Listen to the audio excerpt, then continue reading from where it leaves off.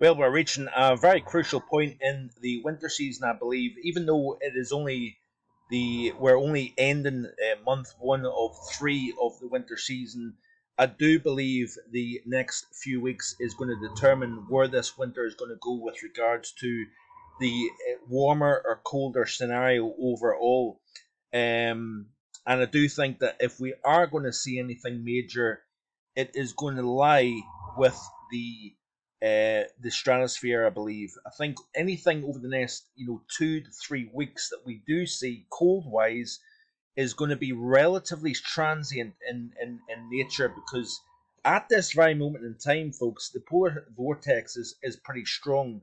There's no point in kidding anybody on. Uh, it's it's reasonably strong, and um, we've got a big split in the models. ECMWF maintains a strong polar vortex GFS sees uh, a different uh, scenario uh, over the next, you know, uh, couple of weeks here. So it's going to be very, very interesting to see as we go forward here where it goes. But as promised, I want to look at the 10 HPA temperatures of the GFS. Looking rather interesting because what we've got is we've got a little bit of a wrestling match that the GFS is going to host between the polar vortex and the warmth up at the 10 HPA level between Asia and Europe here. Now, if I play through the animation, the polar vortex is reasonably strong, but look at the warming that takes place over the unusual part, northeast Atlantic, over Europe, and then travels around uh, Asia up over the top. And look at that at the very, very end of the loop, the very, very end of the loop, we have, in my opinion, a sudden stratospheric warming because the warming goes right over the top of the pole and essentially collapses the vortex.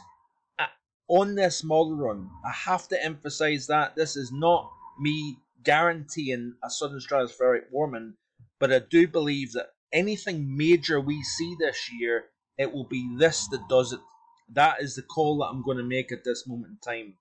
So let's just continuously monitor the situation. I do think that anything up until this time frame, remember a sudden stratospheric warming, you have to see the temperature at 10 HPA rise by about 50 Celsius, going from what minus 80 at the moment right up to freezing. So that, of course, is is a, is a actually 80 Celsius. But generally, you get a kind of 50, 60, 70 Celsius warming at 850 or um, a 10 HPA or way up at the very top of the stratosphere to constitute a sudden stratospheric warming event. And the GFS is certainly pushing more towards that. So we'll, we'll kind of continuously watch it and monitor the situation.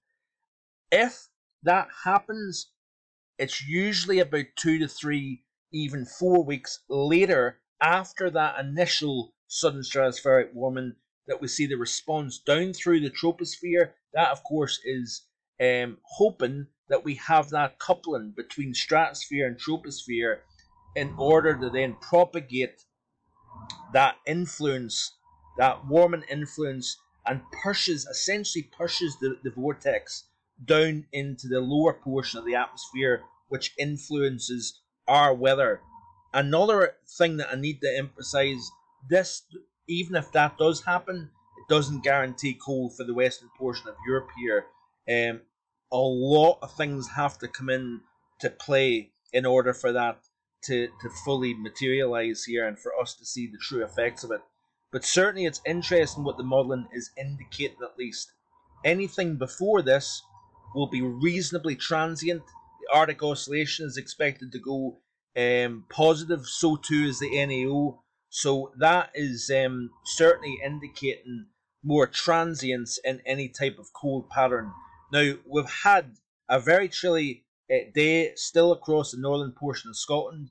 Down into the central belt, what a contrast in temperature, even just kind of around the early portion of the afternoon. Skip, skip back, you can see here this is a 10 to, 10 to 12 the, the, the, this morning, and we had a temperature of minus 4 at Altnaharra, minus 4 Loch Glascarnoch, minus 2 at Tain, minus 1 at Inverness Airport, minus 3 at Aviemore, but then 75 miles south or ish, and we had 8 Celsius at Glasgow. Big contrast in terms of temperature. So the cold is lingering on over the northern portion of the British Isles, and with clear skies tonight, temperature could go down close to minus 10, believe it or not, in a couple of spots. All the while, of course, we cast our eyes to the south, temperatures 12, 13 Celsius, uh, quite easily on that south coast, and of course, we know where the temperature's going over the next uh, several days here.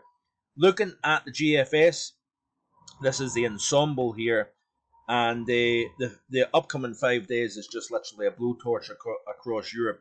Say goodbye to any kind of major cold that we've seen over even northern Europe uh, during the Christmas period. But then the six to ten day, still warmth lingering, if you notice here. So this is out to the seventh of January.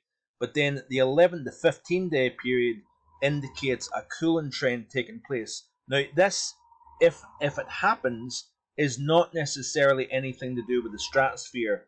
This to me would be um, more of an influence such as the Madden-Julian oscillation or, or so on and so forth. And of course, remember what I said in yesterday's video. As the winter progresses into the second portion, the atmosphere is changing. The oceans are starting to cool off slightly compared to what they were back at the beginning of December, for example. Temperatures are colder by the time we reach the, the latter half of January. For so uh, these are all things that we need to consider as we go forward here.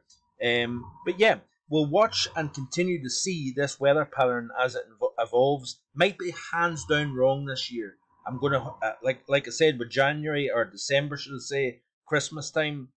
If I'm wrong, I will hold up my hand and say I was wrong. And I know there's people out there desperate to see this not happen so that they can just go under the comments and say their piece.